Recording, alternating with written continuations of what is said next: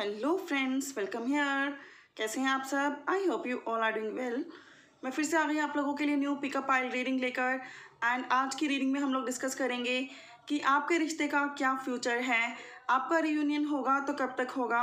और नहीं हो पा रहा है तो क्या ब्लॉकेज है? क्या चैनल मैसेज है? क्या डिवाइन मैसेज है? क्या गाइडेंस है? क्या ब्लॉकेज है? कैसे इस रिश्ते में रियूनियन लाया जा सकता है? एंड अगर हो हो रहा है ऑलरेडी आप लोग वर्क कर चुके हैं तो कब तक होने वाला है? ठीक है, इस रिश्ते का क्या फ्यूचर है? तो इस पर हम डिस्कस करने वाले हैं इस वीडियो में।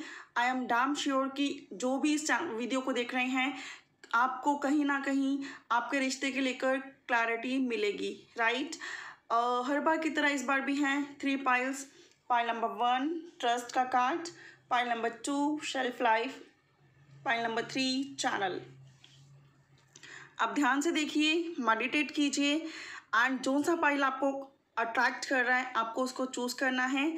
टाइम स्टैम्प्स डिस्क्रिप्शन बॉक्स में गिवन है डायरेक्टली वहाँ जाइए.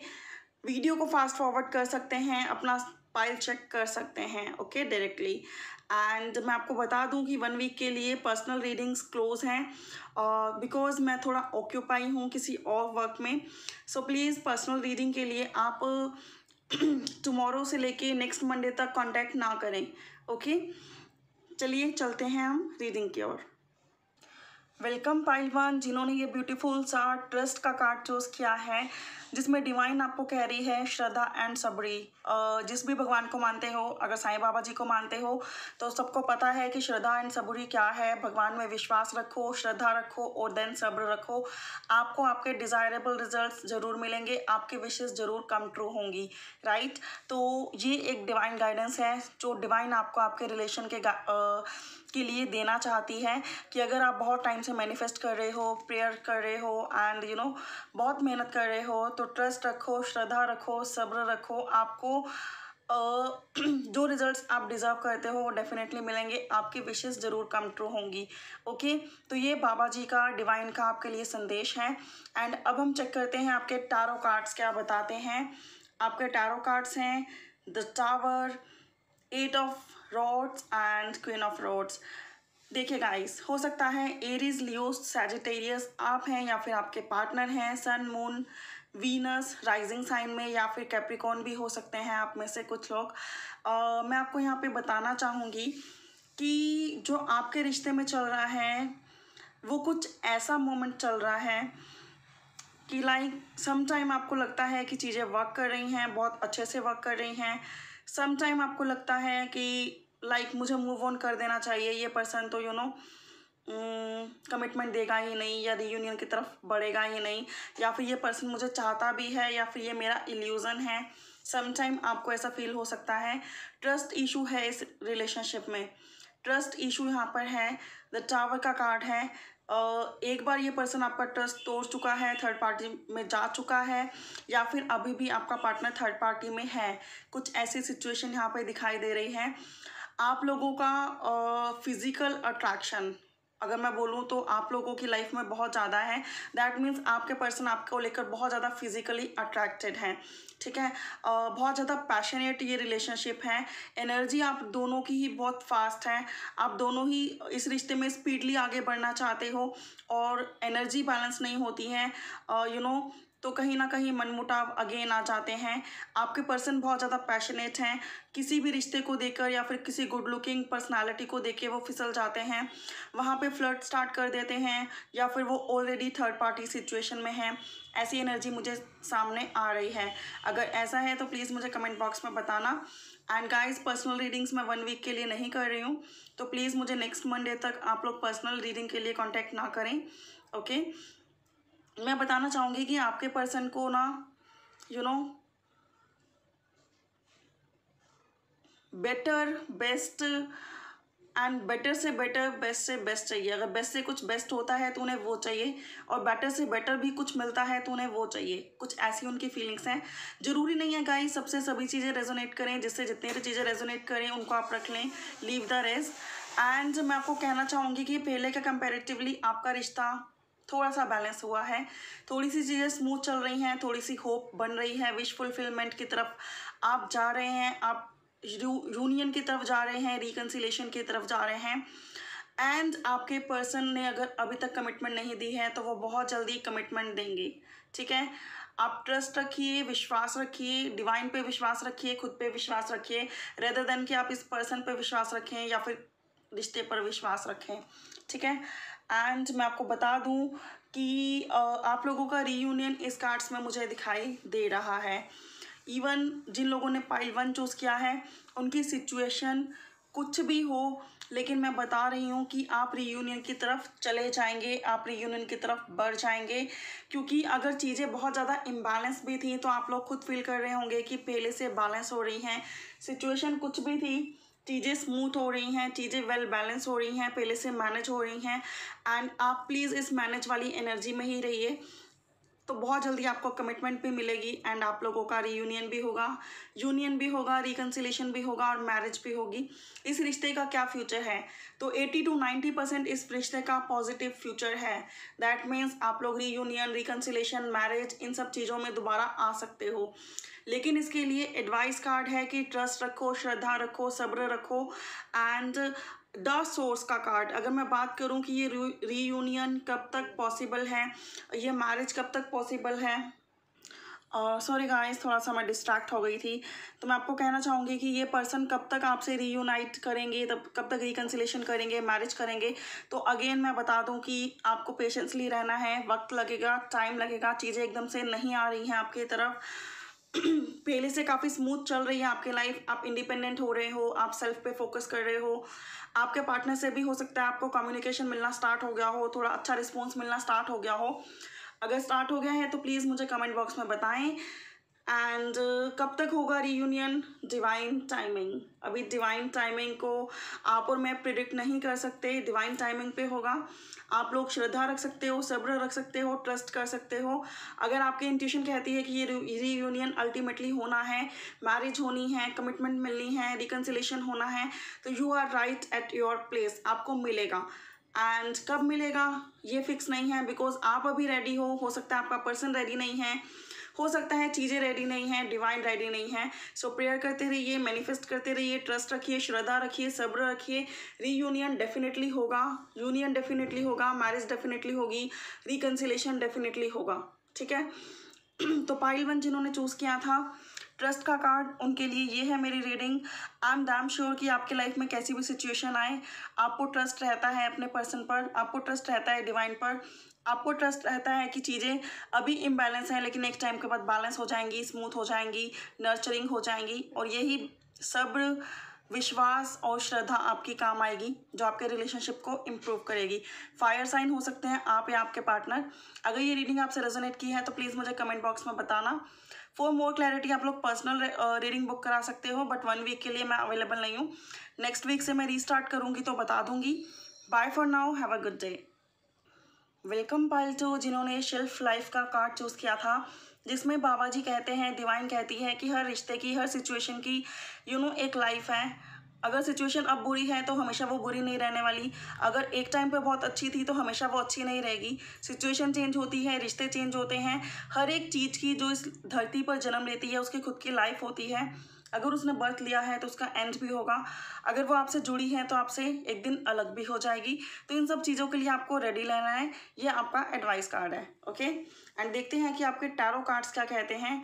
The empress ten of fruits and knight of cups हो सकता है। Aries Leo Sagittarius Cancer Pisces Scorpio आप हैं या फिर आपके पार्टनर्स हैं। मैं बता दूँ कि आप लोग मैरिड हो सकते हैं। ऑलरेडी मैरिड हो सकते हैं, किसी और पर्सन के साथ मैरिड हो सकते हैं, या फिर मुझे लग रहा है कि आप लोग ऑलरेडी मैरिड हैं और आफ्टर डैट चीज़ें बिगड़ी हैं। ठीक है? हो सकता है कुछ लोगों के तो बेबीज़ भी हों एंड यू नो तब भी एक सेपरेशन चल रहा हो रिकन्सिलेशन की कोई उम्मीद ना दिख रही हो। तो मैं आपको बता दूँ कि आपका रिश्ता शुरू तो बहुत अच्छे से हुआ था मैक्सिमम आप में से आप लोगों की लव मैरिज हुई थी। बहुत यू you नो know, आपके पर्सन आपको प्यार करते थे। चीज़ें बहुत ही स्मूथ थी चीज़ें बहुत नर्चरिंग थी हारमोनियस लाइफ थी सब कुछ बहुत अच्छा चल रहा था। फिर एक टाइम पर जाकर पता नहीं क्यों एक अजीब सा स्ट्रेस इस रिलेशनशिप में आने लगा। एक पर्सन इस रिश्ते से बोर होने लगा वो इसमें बर्डन फील करने लगा। या फिर हो सकता है कि आपके रहते वो थर्ड पार्टी सिचुएशन में चला गया आपको इग्नोर करने लगा आपको वो इम्पोर्टेंस नहीं देने लगा जो उसको देनी चाहिए थी वो कदर आपकी वो नहीं करने लगा जिसकी वजह से यू नो चीज़ें बिगड़ गई एंड एक टाइम के बाद जो है आप लोग सेपरेशन फ़ेज़ में आ गए। ठीक है? मुझे लग रहा है कि आप लोग सेपरेशन फ़ेज़ में हैं। या फिर अगर आप लोग साथ भी रहते हैं तो आप लोगों के, के बीच में एक अंडरस्टैंडिंग अच्छी नहीं है बात बात में आर्ग्यूमेंट्स हो जाते हैं। फ्रस्ट्रेशन है बोर्डम है, एक पर्सन बहुत ही थका हुआ फील कर रहा है, अकेला ही इस रिश्ते में वर्क कर रहा है एंड दूसरा रिस्पॉन्स नहीं दे रहा है।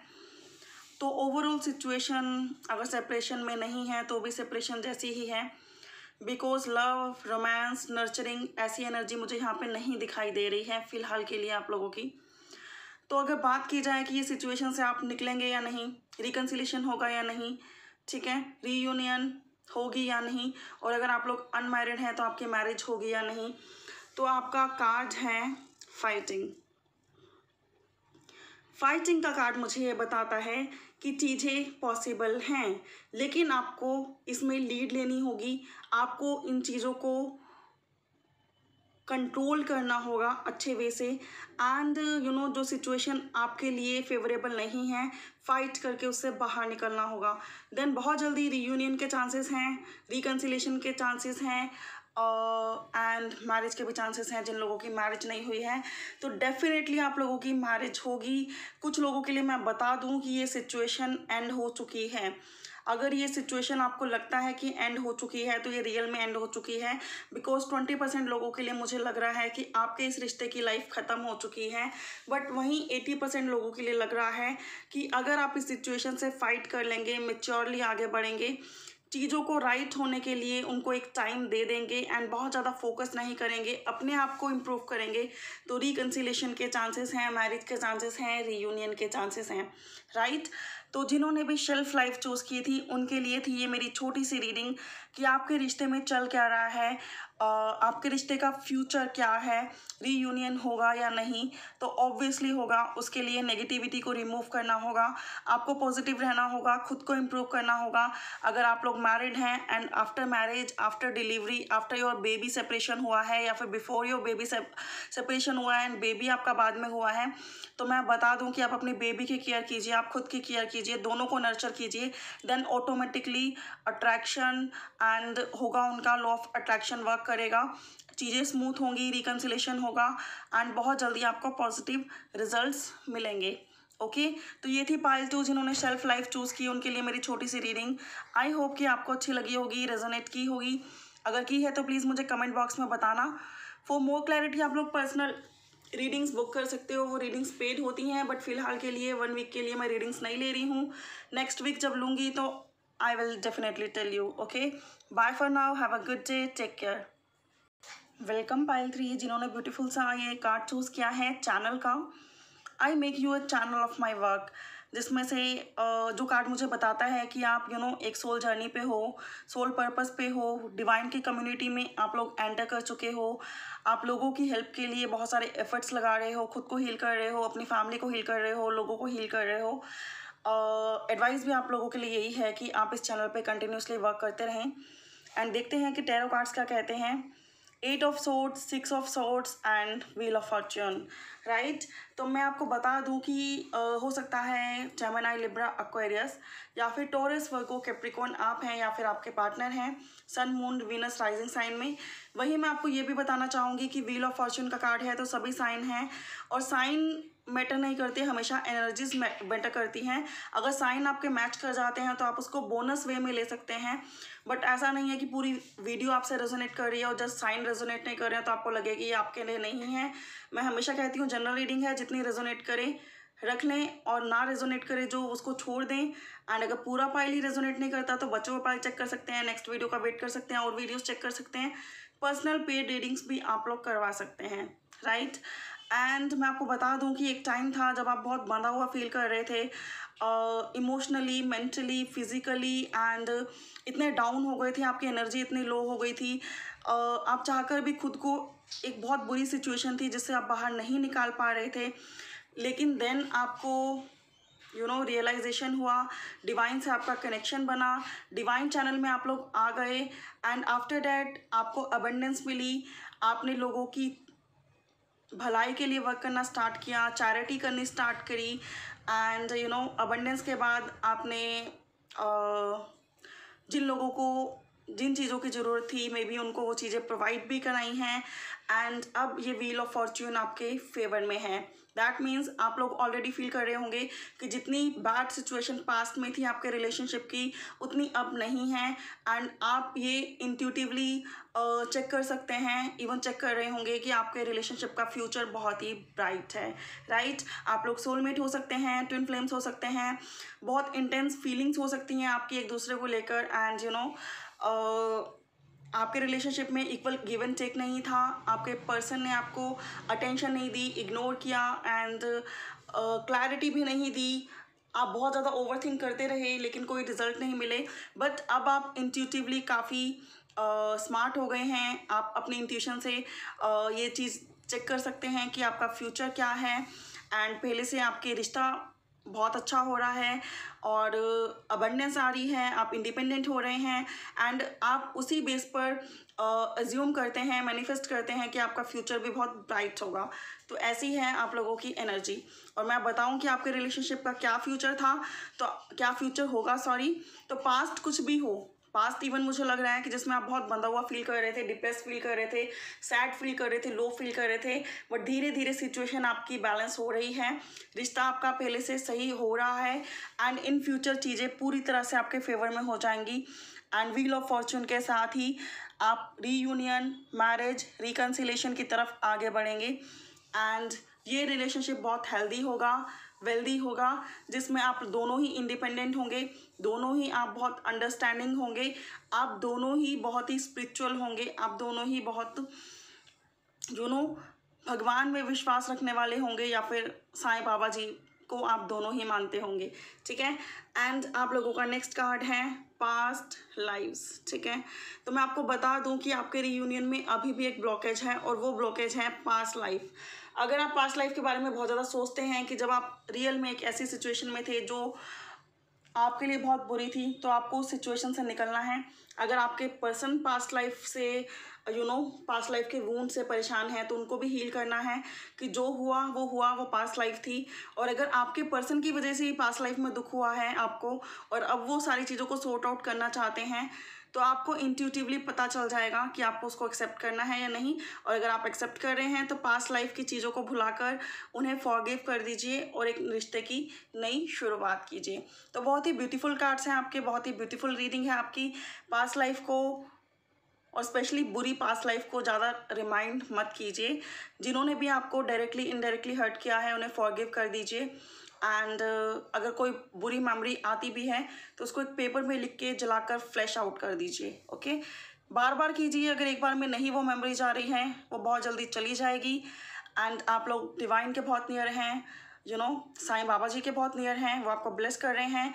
डे बाय डे आप अबेंडेंट हो रहे हैं आप इंडिपेंडेंट हो रहे हैं आप स्पिरिचुअल हो रहे हैं आप संस्कारी हो रहे हैं आप बड़ों का सम्मान कर रहे हैं आप एनिमल्स के लिए बहुत ही दयावान हो रहे हैं, आप ह्यूमन बींग्स की बहुत हेल्प कर रहे हैं एंड यू नो आपका फ्यूचर बहुत ब्राइट है, आपका रीयूनियन रिकन्सिलेशन मैरिज कोई रोक ही नहीं सकता। तो इस रिश्ते का फ्यूचर बहुत ही ब्राइट है। ब्लॉकेज है जस्ट पास लाइफ जिसको आपको यू नो हील करना है और उन वूंड से बाहर निकलना है।